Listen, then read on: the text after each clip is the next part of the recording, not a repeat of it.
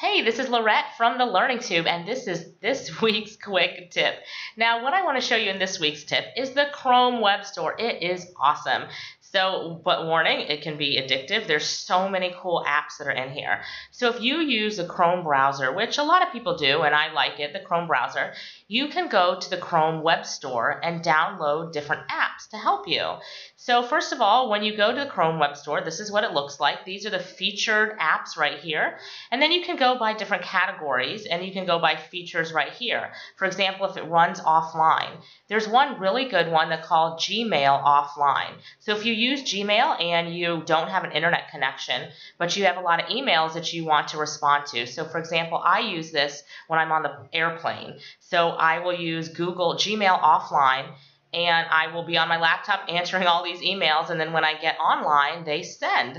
So that's an app that's in here, is Gmail offline and you can click that and it filters all the different apps that can be used offline.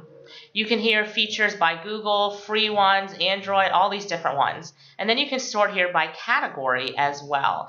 For example, if you are looking for some tools that can help you with uh, productivity. I love productivity related stuff. I can click productivity and here's Google Translate. So if you need some translations, you can use this. Um, here's LastPass. We actually did a quick tip on LastPass. I love LastPass. It's a great password management tool.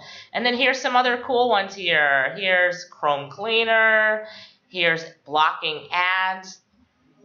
See, all these things can help you with um, productivity. So all of these cool ones. Remember I told you though, it can get addictive. There's so many different things that you can download and add to your Chrome browser. So that's productivity. Here's another one. Let's see. Let's go to blogging. Let's see what we got there for blogging.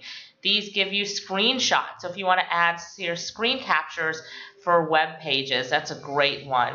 Google Voice. I love Google Voice. It allows you to make calls um, from your computer. So that's a good one. Here's, I don't know this one, Amazon Associates. Here's AddThis all these different ones that can help you um, with different, let's see, here's a shorten, I think he pointed out remove ads, so shortens ads things here, um, but these are for helping you if you do blogging.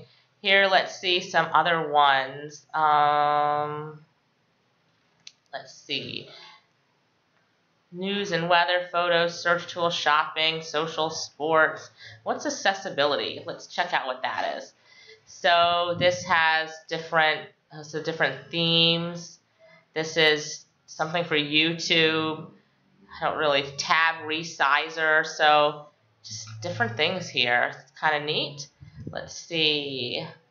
What are some things by Google? These are ones by Google itself which I always usually love Google, Google related things. But here's like a bookmark manager, it's your calendar, Google image search, Google Analytics, Google Voice, so all the Google stuff that you can add right here.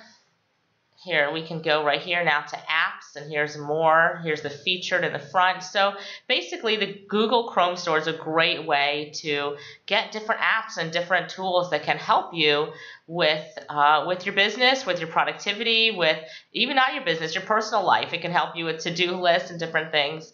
Uh, here we have TeamViewer. So if you want to uh, get remote support on your computer, you can have Excel online here. You can become a DJ. So all these different fun apps that you can use. And this is the Chrome Web Store. Have fun.